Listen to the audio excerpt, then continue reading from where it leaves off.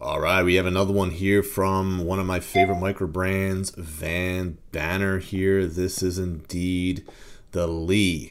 Here is the box that it comes in. It's actually one of those tin cans. It really reminds me of uh, the Fossil days. So they give you a polishing cloth, very nice em um, embossed Vanbanner watches right there. And there is the watch itself. Protected, very well protected with its foam. And they give you instructions, and of course they give you some extra spring bars as well, right there. And the reason why is because it comes with this mesh strap as well. I've been wearing it on the leather. I have absolutely no intentions on putting it on this actually. So what I'm going to do is I'm going to give you, or I'm going to show you guys a clip from Pete's channel over at Chillin' with Watches, and he actually has the LEA on the mesh. So you can take a look at that.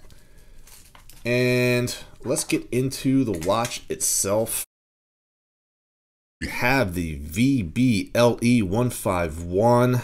That will signify this blue color that we get here. VB, which is Vanbanner. LE, which is the LEA. Yes, I did say Lee, which is a noun. Means grassland, meadow, field, lawn, playing field, parkland. There's a whole bunch of different synonyms for this, but uh, this is indeed pronounced Lee, even though it looks like Leah. So, what are we getting here? Well, we're getting a monster watch with monster lume. Yes, we're getting BGW9 and C3 Super Luminova from Swiss, from the Swiss or from Switzerland. Uh, take a look at the lume shot here. Very, very, very nice. This is definitely the best lume that I have seen on the channel to date. Very, very nice job. But I also did say this is a monstrous watch. What do I mean by that? Well, we're getting 45 millimeters in case diameter. We're getting a thickness of 14.2 millimeters, which is not too bad. We are getting a 52 and a half millimeter lug to lug. And we're also getting 24 millimeters in lug width. Now, the way that the lugs taper down and don't let the millimeters from lug to lug fool you because on my 7 inch wrist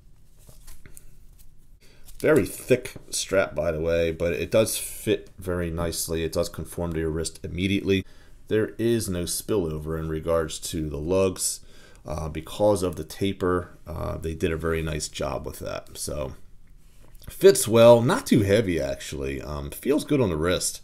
Not top heavy at all, like you would think it would be. Just really wears well. So we're getting um, a 316L stainless steel with that distressed PVD coating. By the way, the crown, you're getting that coin edging, but you're also getting lume on the crown if this just wasn't enough, guys, which is unbelievable. $218 and 20 cents for this watch. I believe that's a little bit odd just because of the conversion from Canadian to USD. But the other odd thing is that it is indeed super low for what you're getting. You're getting a sapphire sandwich first and foremost with that beveling right there, which is also added cost. And another added cost is the fact that it has AR coating.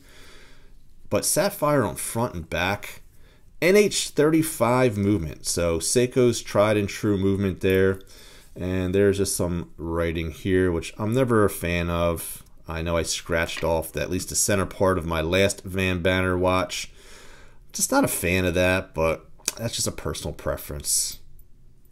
There you go with that. You can kind of see the NH35 in between the lettering.